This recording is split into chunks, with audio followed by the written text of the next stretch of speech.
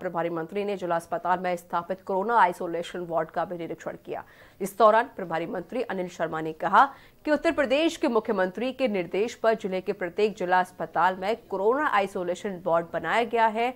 ज़िले में अभी कोरोना वायरस का कोई केस नहीं आया है। फिर भी यहाँ पूर्ण सतर्कता बढ़ती जा रही है। आइसोलेशन वार्ड में सभी व्यवस्थाएँ चाक चौबंद रखी जाए। यदि कोई संदिग्ध मरीज़ आए तो तुरंत खून की जाँच कराने के लिए सैंपल प्रयोगशाला को भेजे जाएँ। वहीं ज़िले में चिकित्सकों की कमी पर उन्होंने कहा कि यूपीएससी कई चिकित्सकों के सिलेक्शन हुए हैं, जिनकी काउंसलिंग चल रही है। जनपद को अभी दो चिकित्सक मिले हैं। जल्द ही चिकित्सकों की कमी पूरी हो जाएगी।